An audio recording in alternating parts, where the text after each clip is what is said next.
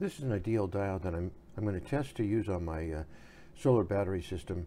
And right now I'm using uh, Schottky diodes and they drop about, you know, 0 0.3, 0 0.4 uh, volts across the diode. And these will drop about uh, 0.02, 0.04 volts across. So, you know, 10 times better. And they won't dissipate as much heat, won't waste any power. And we're going to see how they see how they work. These are only good for 3 amps. I, I ordered another set that's good for 50 amps. But we'll, ch we'll check it out here. So here's the setup here. I've got uh, I've got two of these diodes down here and a 12 volt lamp right here. Okay. Now this is the voltage to the uh, the first diode. This is the current to the first diode, and this is the voltage to the second diode and voltage and the current to the second diode over here. So I'm going to turn this one on. And we've got uh, 13, let's put it at 12 volts. I got uh, yeah, 12 volts there. And I have um, 13, uh, I have 0.42 amps going through there. And these two are, the, the output on both of these dials are connected together through the lamp. So, uh, but nothing's coming back. No voltage is coming back through these.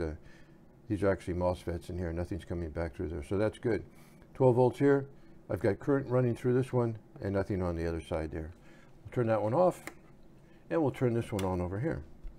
I got 12 volts here, uh, 0.42 uh, amps going through there and nothing coming back through the other diode. So that's working, that's working fine. Now, if I put a voltmeter across the, uh, from the uh, input to the output on there, I'm only dropping uh, 0.02 uh, volts on there. So that's, that's, that's perfect, okay? Now let's turn uh, both of them on. Okay, so they're both on and they're kind of sharing the load there. In fact, I can adjust this so that they're about the same. Let's see. Yeah, point, uh, 0.23, point, uh, 2 amps on there. I think they're actually switching back and forth, but uh, so that, that's working out fine. Now, if I turn this one, if I turn this one off, okay, there's no power going in here, but I'm getting voltage back through here. And I'm getting this, this voltage coming back through this, uh, this set of, uh, this diode here, this uh, ideal diode here. So if I change the voltage here, you can see it's changing over here. You know, nine, uh, nine volts, nine volts, put that up to, you know, 12, 12, so I'm getting voltage back through this, uh, this diode here, which I don't want to do that. That's going to put voltage back into the other set of batteries, and uh, that's, uh, that's not good. So, you know, why is that, uh, why is that happening? Let's turn that off. So here we are here. I, I drew up a schematic of this, uh, this little module here. We've got two uh, MOSFETs. These are P-channel MOSFETs. And can you see that? And in order to, to uh, control the P-channel MOSFET, you take the, the gate to uh, becomes negative, and then the, the channel will turn on, okay? So do, to do that, they just have a, a, voltage divider here going into a transistor, and when that's, you put power over here on the, this side here, it just turns the transistor on, brings the gate to, to negative, and turns the two MOSFETs on. Now, when the channel is open in a MOSFET, current can flow from drain to source or it can drain from source to drain. It's just open. It can go either direction here.